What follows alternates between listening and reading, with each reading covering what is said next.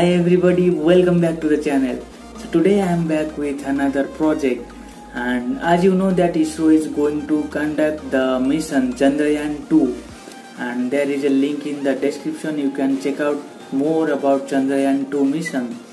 And there was a part of Pragyan. It's a kind of rover that will roam on the surface of the moon to collect some data. So today we are going to make a rover like Pragyan and we are going to attach a webcam to it so that it will collect the data and we can see that data in our computer. So let's DIY this.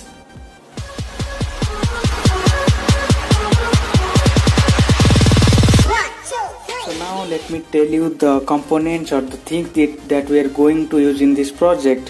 First of all we need a base like this. This is a plywood base and I have already attached four motors to it using a metal clamp and the wires in the upward side. And among with this we need a breadboard and I have connected the node MCU to the breadboard. And the next thing that we need is this L298N motor driver module and then some number of jumper wires and a 12 volt battery so now I'm going to arrange all these components to make our rover. To know about the circuit diagram you can find a link in the description below. Check it out.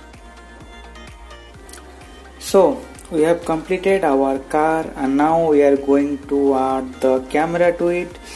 For that we are going to use an application named as IP webcam this is the application IP webcam. There we can go for start server and we are going to connect the mobile phone to a website in our computer.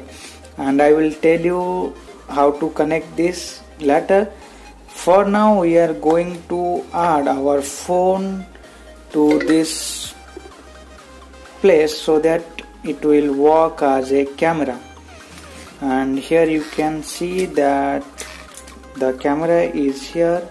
So it can capture all the things. So this is the code for our node mcu car.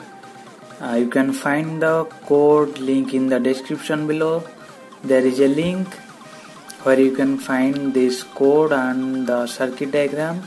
And also you can find the application how to run the car so now let me show you how we can see that uh, how the webcam will show the data in the computer. So now let me tell you that how can we use our phone as a webcam. So first open up that IP webcam application then click on start server. There you can see some IP address written on the screen. So write that IP address on your Google Chrome on desktop and then you can see a website like this will appear. And here we can see the thing for that. You need to click on the browser in the video option. And here you can see that whatever it is recorded on your phone you can see that live on your desktop. So you can check out the website. There are so many options like zoom like uh, turn on the flashlight and so many options are there. So you, can check out the website and the IP webcam application.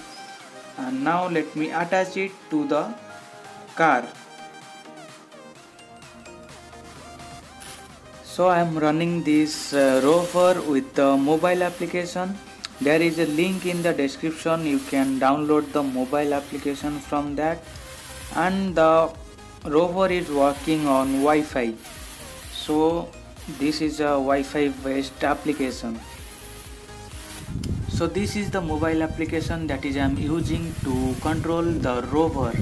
And as you can see it is connected with the webcam with the application IP webcam. And you can see the live video directly on my desktop. So now I'm going to take the rover outside for testing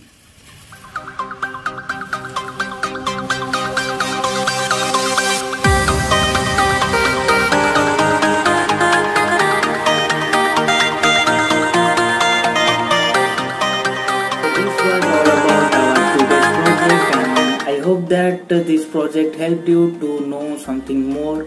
And if you loved it then don't forget to hit the like button. And yes let me know your thoughts and suggestions in the comment section below.